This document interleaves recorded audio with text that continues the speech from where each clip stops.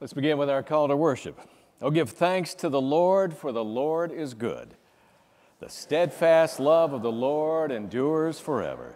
Sing praises to God. Lift your voice in glad adoration. The Lord's name be praised. Alleluia and amen.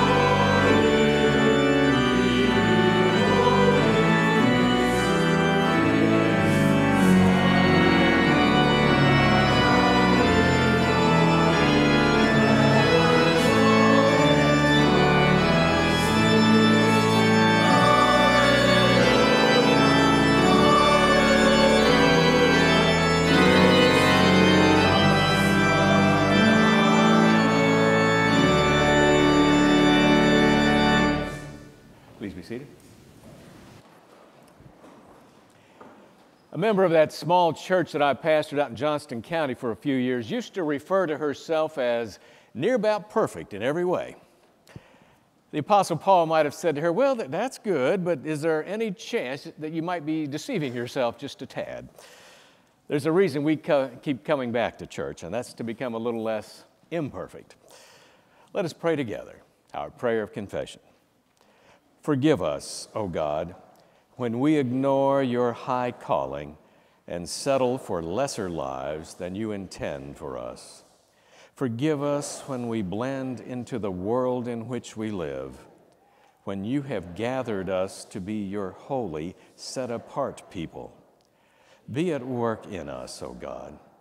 Overcome our reluctance to serve your holy purpose.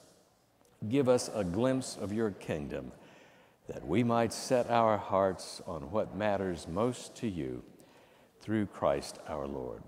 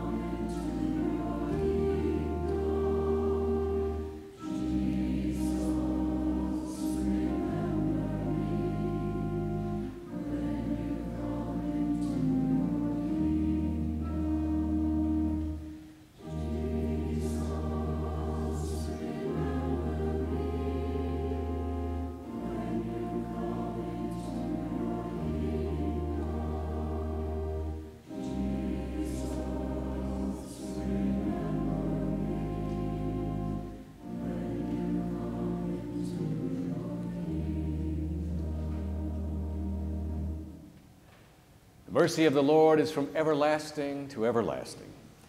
As forgiven ones, we can declare to each other in the name of Jesus Christ that we have been forgiven and we can be at peace. And so, friends in Christ, in response to this gift of God's grace, how then shall we live? With gratitude, following after the Lord Jesus Christ, who calls us to love God with heart, soul, mind, and strength, and our neighbors as ourselves. This is the way of Jesus in whom we find life.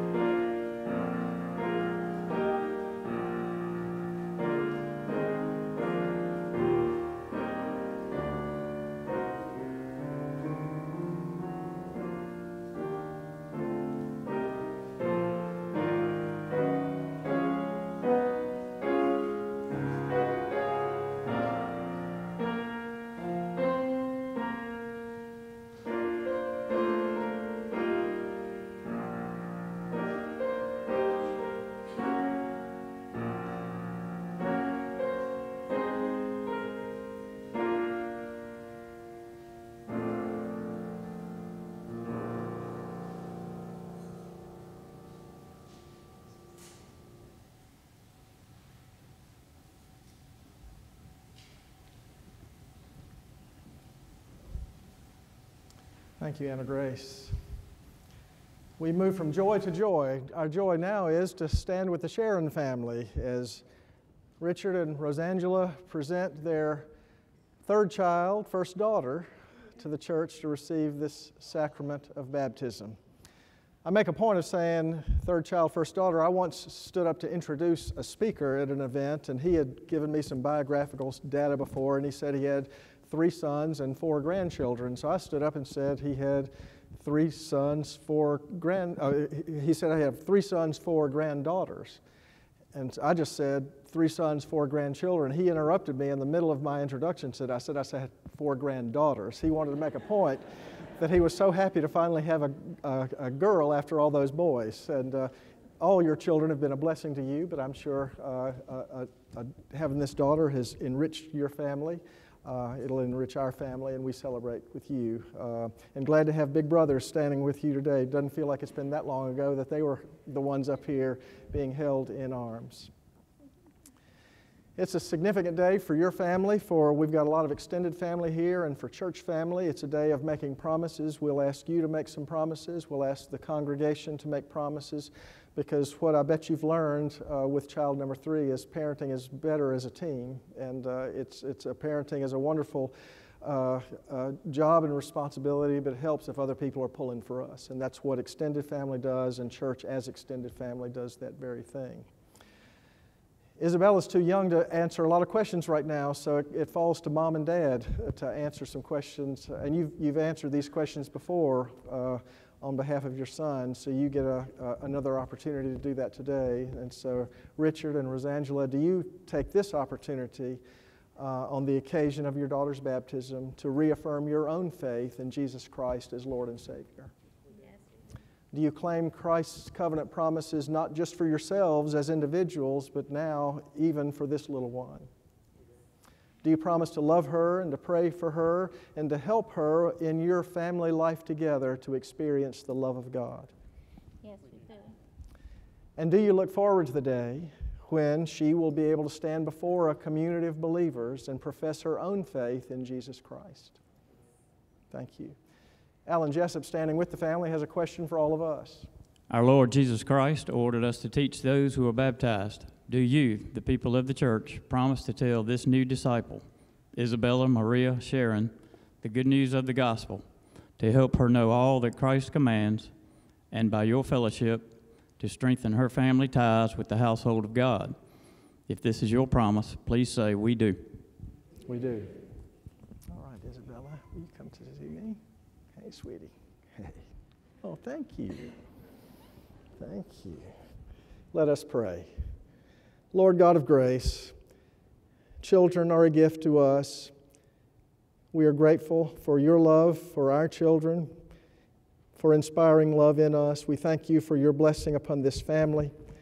We pray that you will be at work among them and through them, giving them a sense of your presence always, showering them with your love your grace, your favor.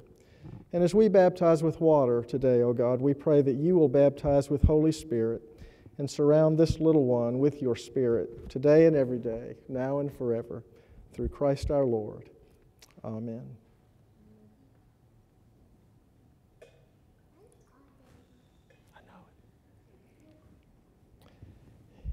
Isabella, Maria, Sharon, child of the covenant. I baptize you in the name of the Father, and of the Son, and of the Holy Spirit, and pray God's richest blessing upon you, now and always, through Christ our Lord. Amen. If you'll hang with me for just a minute, I know you are reaching back for Mama.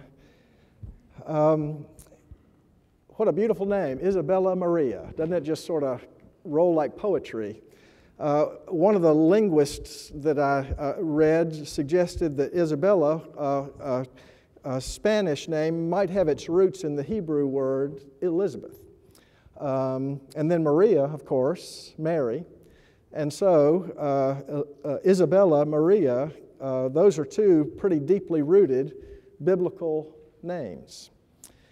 And we've also just uh, planted upon her another uh, pretty daunting title, name, Child of the Covenant, that tells her and us that this little one is rooted in the love of God, that her life is surrounded and embraced by the promises of God, the covenant promises that God says, I will be your God and you will be my people. It's really not much more complicated than that for us to keep the promises we have made to her this morning by reminding her that God will be her God and invite her to be his child, simply to become who she already is. Let us pray. Lord God of grace and goodness, we give you thanks for your faithfulness to us and to our children. We pray your blessing upon Isabella and her family and all those who will care for her. Help us to be faithful to our promises, now and always, through Christ our Lord. Amen. And now let us sing together.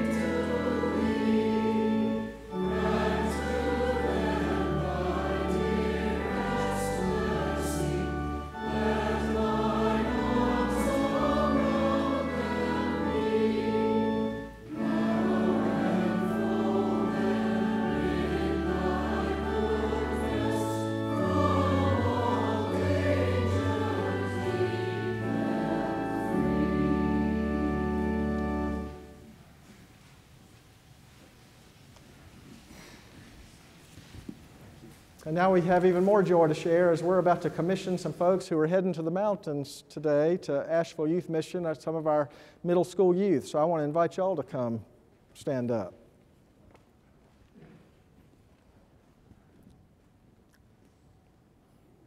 Yeah, just flying all the way across there.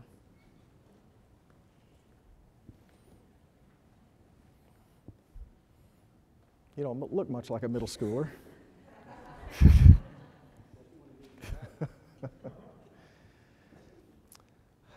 you see in the bulletin uh, that these young people and uh, some uh, adults uh, will be headed today to the Asheville Youth Mission. If that sounds familiar, it's because we have recently become a, an outpost of Raleigh Youth Mission. It's under the same umbrella.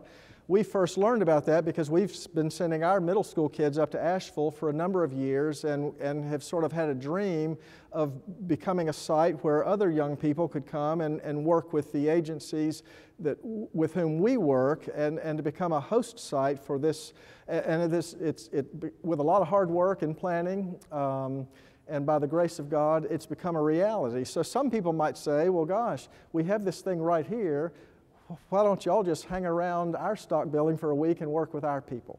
So you could make that claim. But the truth is, mission experiences are enhanced and enriched as we leave our own comfort zones and go to new places, meet new people, and, count, and see the world a little bit differently so that when you return back home where you're familiar, you'll have a broadened view of the world. And we hope that is what's going to happen here.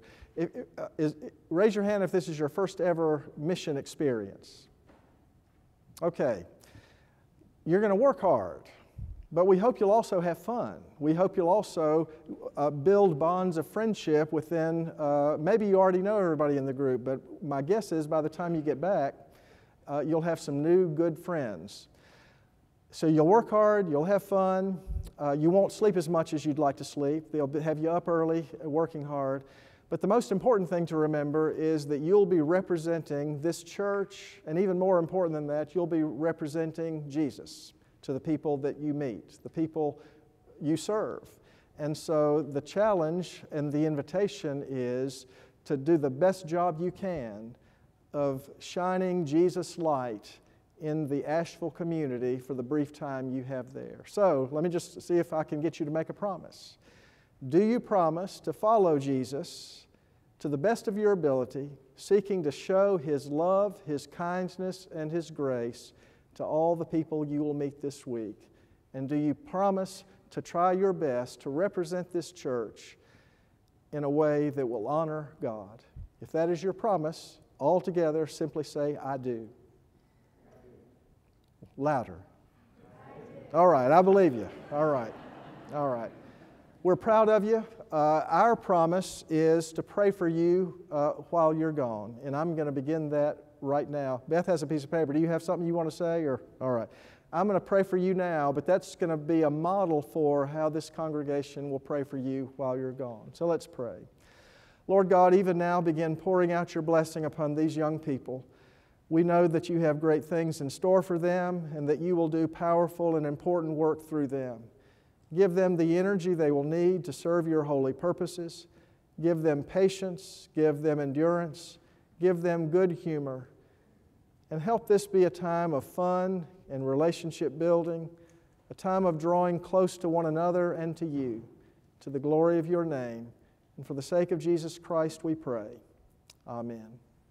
Con- consider yourselves commissioned, and may God go with you. Thank you.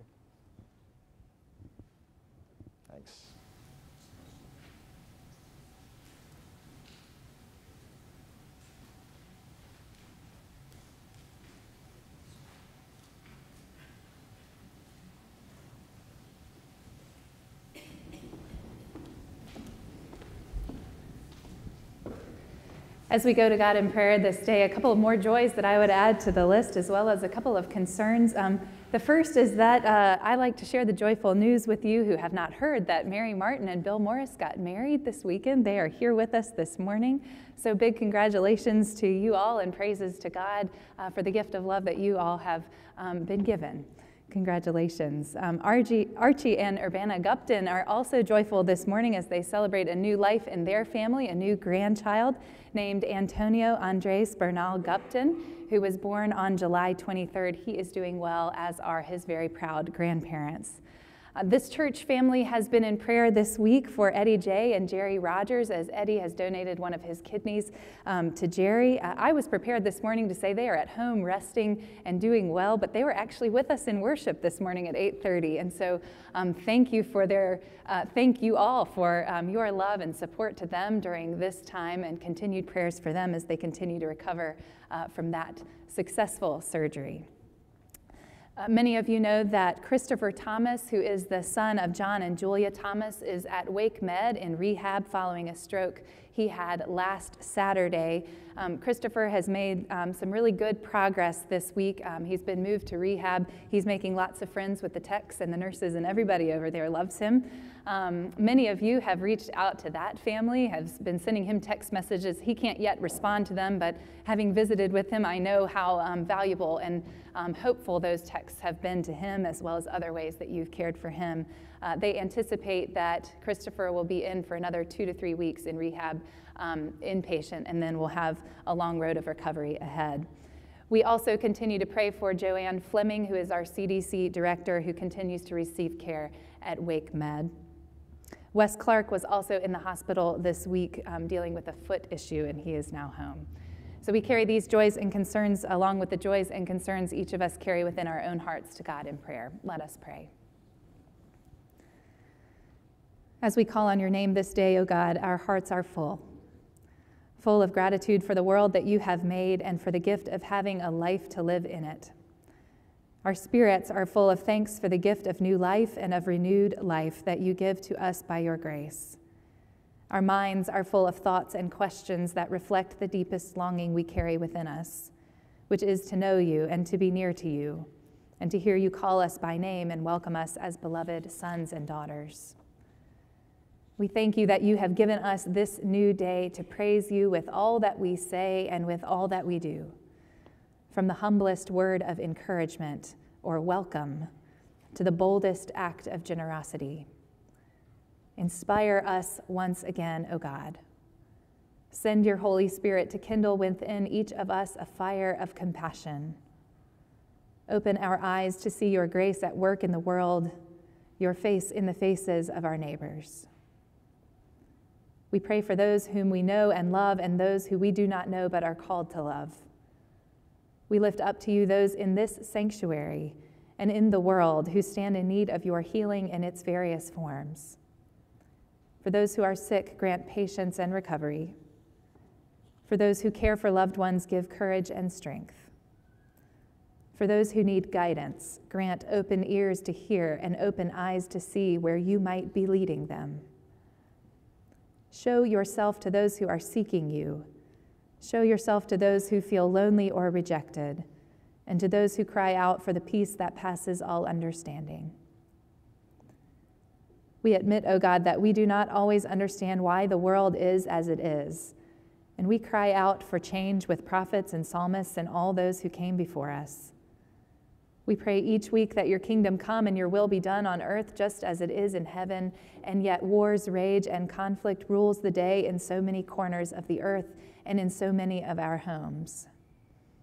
We pray with broken but hopeful hearts for those in Israel and particularly Gaza, in Iraq and in the Ukraine and in Libya, and in all places where peace seems but a pipe dream, where mercy seems in short supply. Heal our world, O God. Comfort the suffering. Send the grace that heals all profound wounds and binds up the broken. As each of us turns our faces towards another week, we ask that you would be with us, that you would increase our joys and bear our sorrows along with us, that you would be known to us in unmistakable ways through the love of our neighbors and the beauty of creation and the gift of music and the preaching of your word this day. We pray all these things in the name of Jesus Christ our Lord, who taught us to pray, saying, Our Father, who art in heaven, hallowed be thy name. Thy kingdom come, thy will be done, on earth as it is in heaven. Give us this day our daily bread, and forgive us our debts, as we forgive our debtors. And lead us not into temptation, but deliver us from evil. For thine is the kingdom, and the power, and the glory forever. Amen.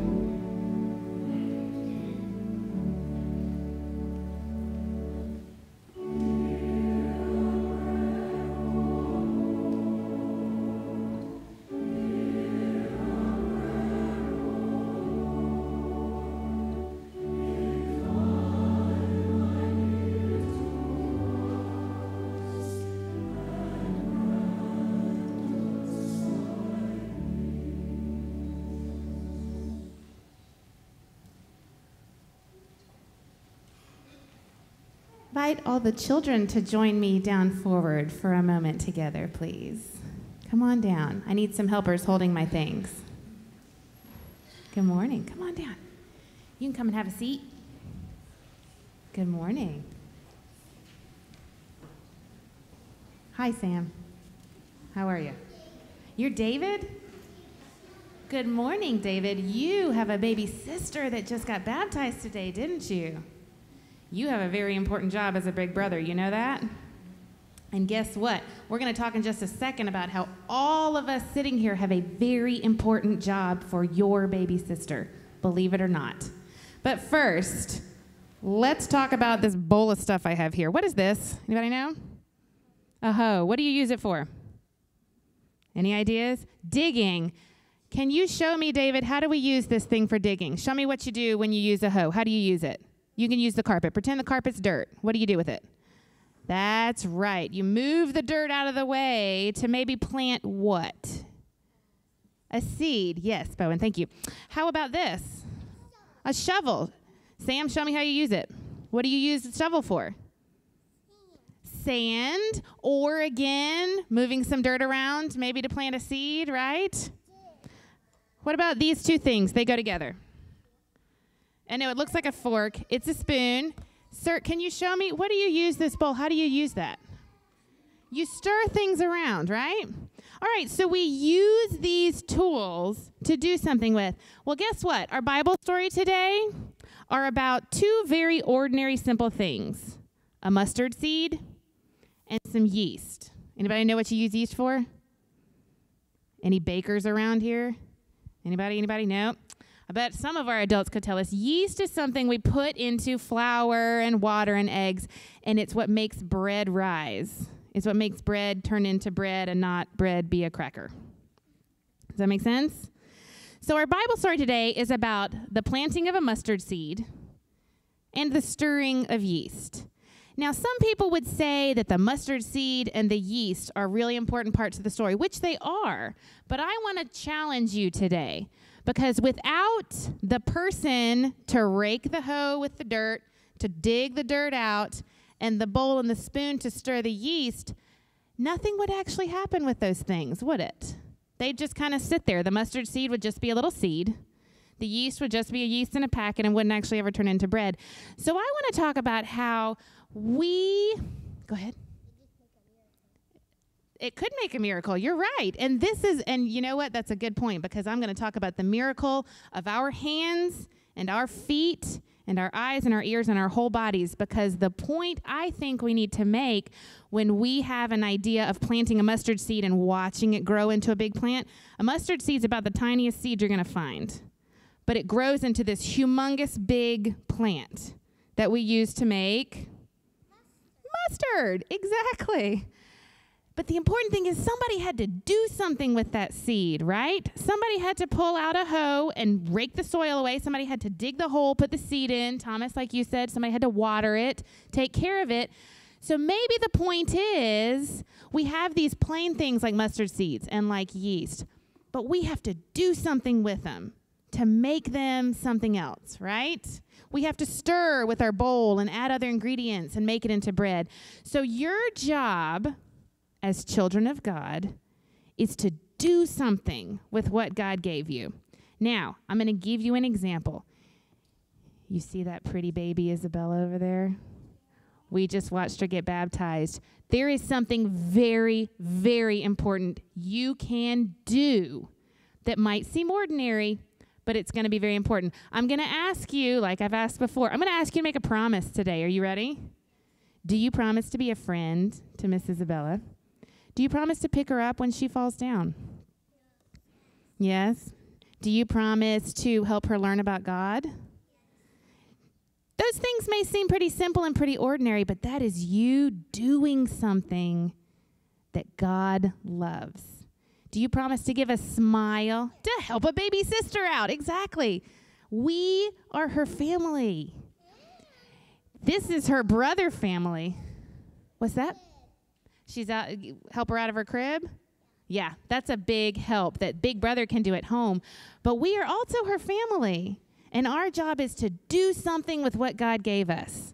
Plant those mustard seeds, stir up that bowl of yeast. We're going to make something of what God gave us. And we can start with something as simple as helping baby Isabella feel like this is her place to be too, right? Can you pray with me real quick? How about I say it first and you say it second? You ready? Dear God, thank you for giving us hands to use and people to love. Help us know that everything we do for you is important. We love you. Amen. Thank you, my friends. You can head back to your seats. Maybe I'll keep the shovel for now. Thank you. Thank you.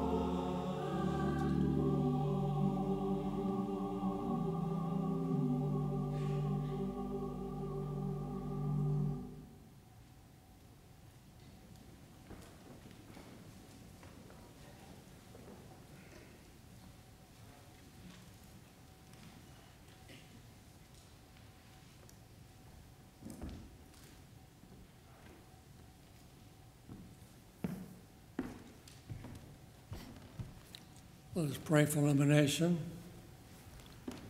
Lord, open our minds and our hearts by the power of your Holy Spirit, that as the scriptures are read and the word is proclaimed, we may hear with joy what you say to us today.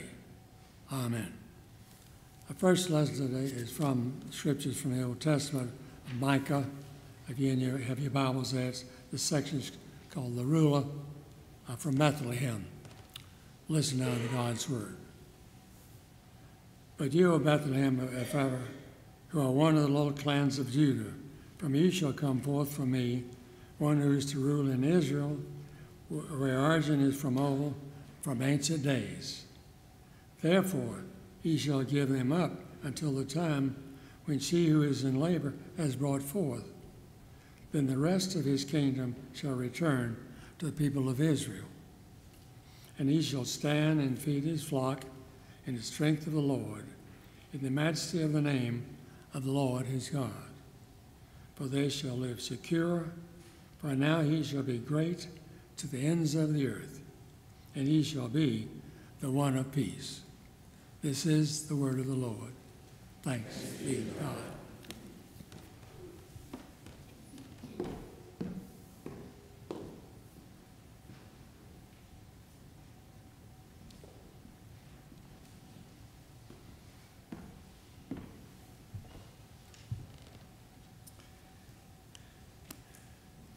Chose that Old Testament reading for the particular reason that uh, Micah's prophecy was that the, when the Messiah was born, he would not be born in a place of power like Jerusalem or Antioch or Rome, but in a small, out of the way place like Bethlehem, which was simply another reminder that God does not always uh, go about in the world the way we think God will.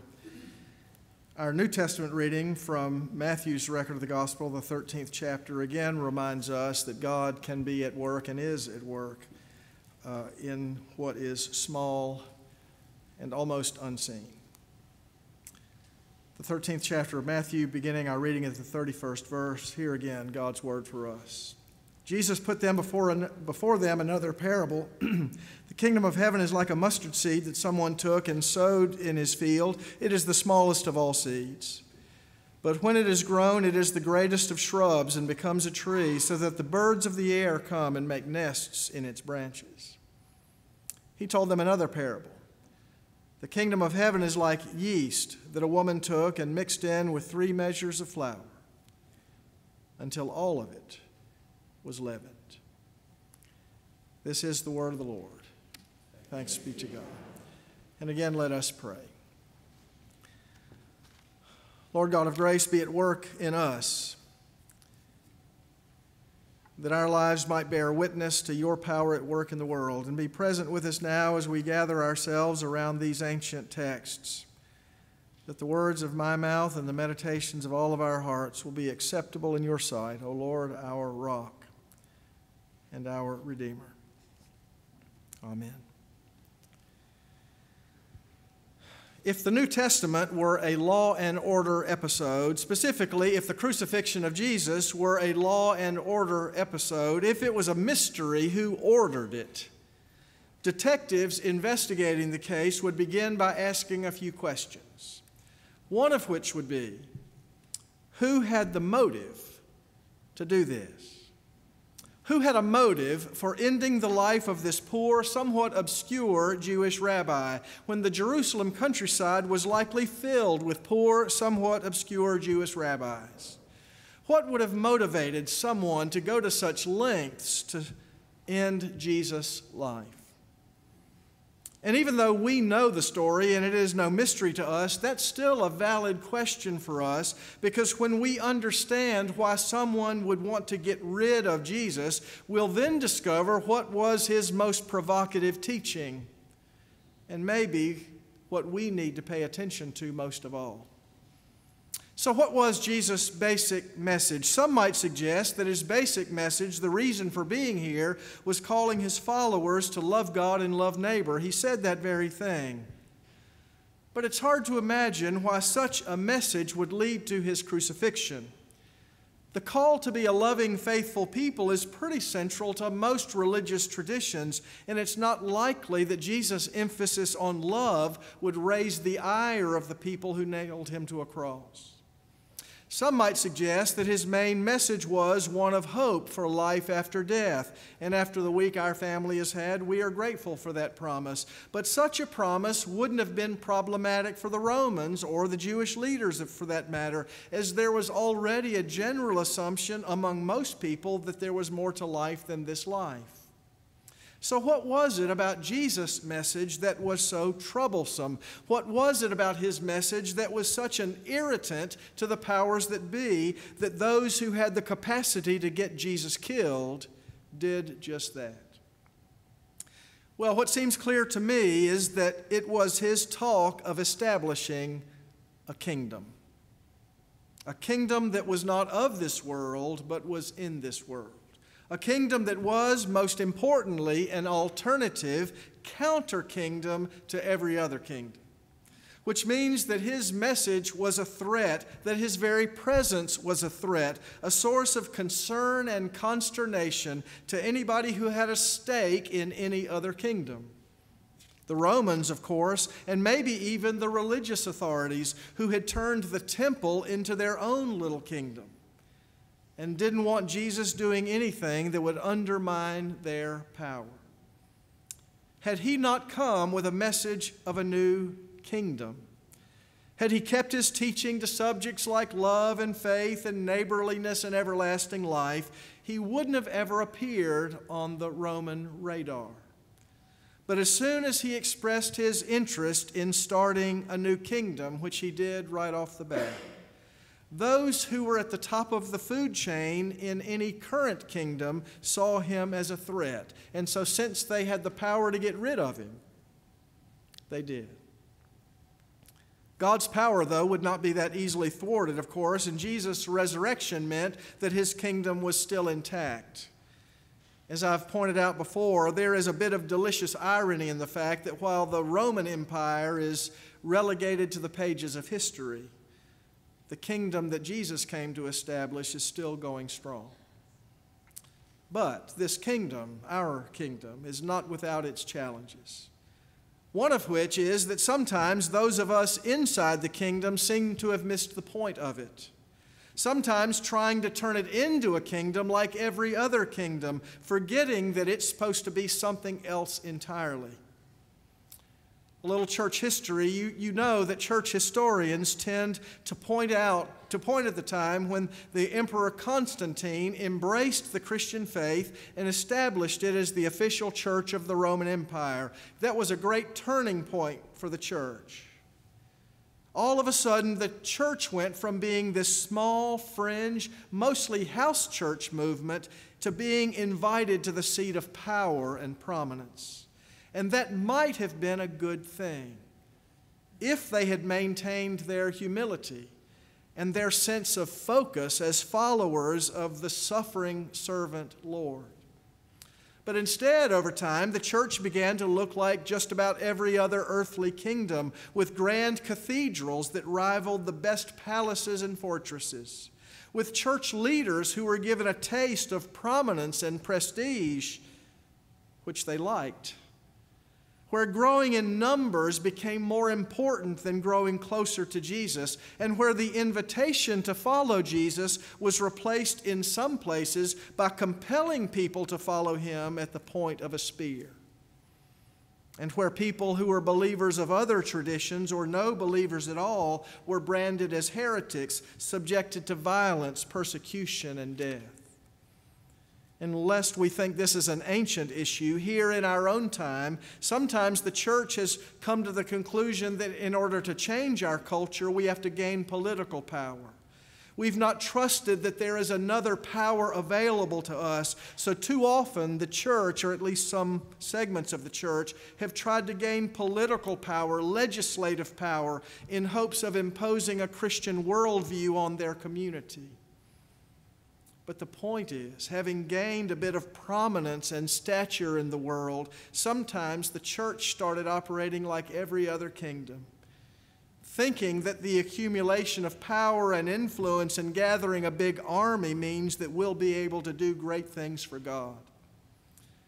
But it seems clear to me, because it seemed so clear to Jesus, that God's kingdom is not like any other kingdom, and thus shouldn't be developing its strategy by stealing from the playbook of the Romans or any other kingdom for that matter. Instead, Jesus said, the kingdom of God is like a tiny seed, an almost imperceptible seed which does its work mostly underground, but which can lead to remarkable, unforeseen transformations. And Jesus said, The kingdom of God is like a bit of yeast hidden in the flour. Doesn't look like much of anything. But during the night, again, under the cover of darkness, dough is transformed, changed from within. That's how the kingdom works, says Jesus. The kingdom of God isn't like other kingdoms which try to gain power so that they can push other kingdoms around. The kingdom of God isn't like other kingdoms which value size and prominence and wealth and status and stature above all else. No, the funny thing about this kingdom is that it goes about its business not trying to draw attention to itself, but doing the work it's been given to do quietly, faithfully, intently, diligently and not even fretting about results, not fretting about getting noticed, not worrying if we don't seem to be having the sort of influence we'd like to have, not worrying that we don't seem to be seeing the cultural changes we thought we'd be seeing, but simply doing what we do, like a seed in the soil, like some yeast in the dough simply doing what we do, not looking much like a kingdom, but in fact being a kingdom that has outlived and will outlive every other kingdom that has ever and will ever march across the world's stage. But our survival is, is not based on operating like every other kingdom. Thinking that gaining power and getting bigger and throwing our weight around is what makes us successful but a church that is faithful to the tasks before it, of being about the business of nurturing faith in the next generation. We had a reminder of that today. Of tending to the weak, the poor, the hungry, and those most easily dismissed in our culture. Of confronting those who are in power if they are misusing power for their own advantage. Of offering the gospel of Jesus Christ as a real, hopeful alternative to the false and fleeting hopes offered by every other ideology, and then living as if we really trust those promises. This, I think, is what it means to be a part of Jesus' kingdom in our world. It's to be a part of a kingdom that is suspicious of every other kingdom. It's to be a part of a kingdom that represents a clear alternative to the consumerism, the meism, the idolatry, and the ultimate emptiness found in every other approach to life. It's to be a part of a kingdom that's careful not to embrace false promises by false gods, careful not to give any ultimate allegiance to any other entity that would compromise our allegiance to the God we know in Jesus. But to be a part of this kingdom also means, according to the parable, that we have to learn to live with the fact that sometimes our efforts seem not to amount to anything. That sometimes our influence on the world is awfully slow in coming and sometimes hard to see. But we keep at it, not because we're getting quick results, but because we trust the results to God in all the churches I've ever served, including this one, there have been good, wonderful examples of people who understood themselves to be citizens of that sort of kingdom. Citizens who do their work faithfully, patiently, diligently, not always knowing whether they're making any difference at all, but trusting that they were. Not always seeing any harvest, but trusting that their work is important. I think of people who have quietly, faithfully taught children's Sunday school, or who've undertaken the arduous task of teaching children the catechism. I think of people who've committed themselves to ridding the world of substandard housing by working on one habitat house at a time. I think of people who travel around this city unnoticed, visiting the elderly. Many of the people being visited 15 minutes later won't remember they've been visited but they keep at it. I think of people who do all sorts of things around here or in places with whom we share ministry, and no one takes note of it. No one draws attention to it. But they don't do it for recognition or praise. They do it because it's the work of the kingdom. They do it because their love for God and their love for neighbor compels them to give of themselves. And the faithfulness to that calling is all by itself all the attention they need. Back in 1969, Baylor University professor Rodney Stark, who is a sociologist, wrote a book from a sociologist's perspective on, on how to explain the dramatic rise of the Christian church in the first 300 years of its existence. Now, this is before Constantine. This is while they were still facing persecution. The church grew at a rate unseen since, which is counterintuitive. Why would anybody join an organization that existed under the threat of death? Well, what he found was this that the church grew for two basic reasons, humanly speaking. Number one, the Christians cared for each other, tending to the weak and the sick among them. Thus, survival rates exceeded that of the general population within the church. And the people who received that kind of care, you can bet they're going to stay a part of that community. Think about our life together. Who wouldn't want to join a church where one member of the church was willing to undergo surgery? Surgery to donate a kidney to the guy who sits usually two rows behind him every Sunday morning. Today they sat together. I joked that their, their organs needed to stay in close proximity to a while. But who wouldn't want to join a church where that sort of love abounds? The second reason was that Christians cared for those outside of their community.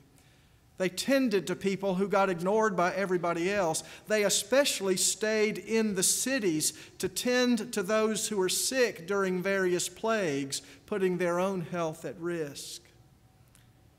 This caused people to say things like, See how they love one another. This led to an influx of people into the church who were touched by this kindness and who had seen in the Christian church an almost supernatural love. Again, thinking about our life together, I can't tell you how many people over the years have told me that they were drawn to this church not because of our beautiful buildings or our eloquent preachers or our beautiful music or because of any theological statements that we had made. They joined the church because we had become known in the community as a community of mission, of a church that reached out, of a church that tends to the hungry, the poor, the weak, and the forgotten. Put simply, they joined the church because they saw us doing what they assumed the church was supposed to do. And so, in its earliest days, the Christian church had no power, no status, no political influence, but it grew and grew against all odds. Why? Because they went about the business of being a different kind of people. A different kind of people following a different kind of king. Like a small seed from which people don't expect very much, like a bit of yeast which holds all its power in a way that can't be readily seen. The church flourished and grew. And it can continue to flourish and grow if we'll keep being who we've been called to be. not a kingdom that mimics the kingdoms of the world, but a kingdom that is rooted in a power beyond our own, the power of a God who is even now, in quiet, imperceptible ways, at work among us. To that God be glory, now and evermore. Amen. Música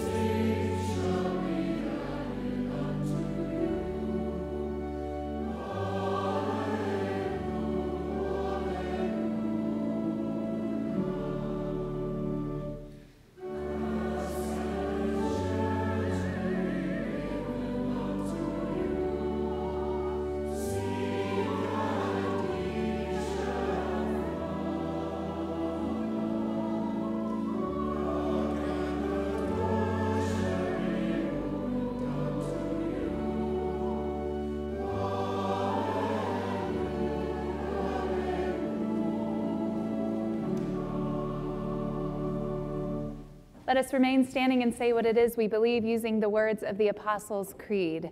I believe in God the Father Almighty, maker of heaven and earth, and in Jesus Christ, his only Son, our Lord, who was conceived by the Holy Ghost, born of the Virgin Mary, suffered under Pontius Pilate, was crucified, dead, and buried. He descended into hell. The third day he rose again from the dead he ascended into heaven and sitteth on the right hand of God the Father Almighty. From thence he shall come to judge the quick and the dead. I believe in the Holy Ghost, the holy Catholic Church, the communion of saints, the forgiveness of sins, the resurrection of the body, and the life everlasting. Amen. Please be seated. We have heard the gospel proclaimed in song and in scripture and in word. Let us respond to the grace of the gospel with our, gra- our gratitude and our generosity as we give our tithes and our offerings.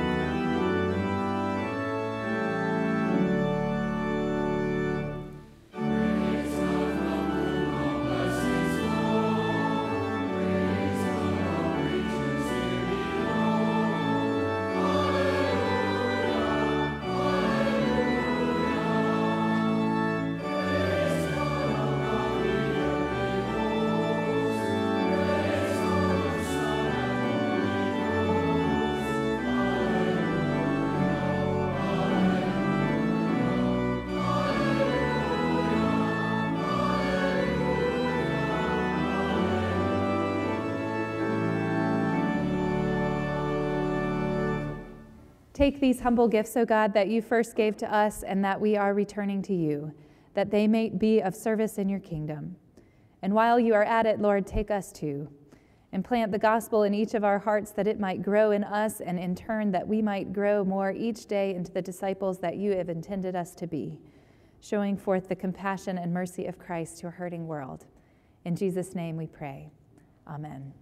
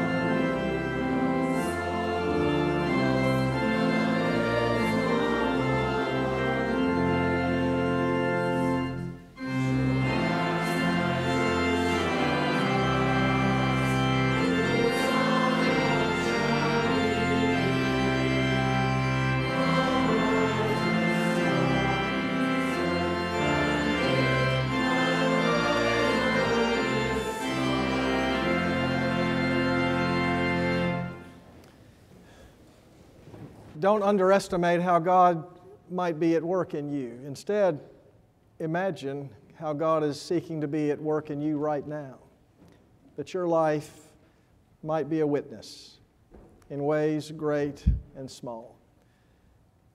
And now may grace, mercy, and peace, the triune blessing of a triune God, Father, Son, and Holy Spirit, be and abide with you, with those you love, and with God's people everywhere, now and forevermore. Amen.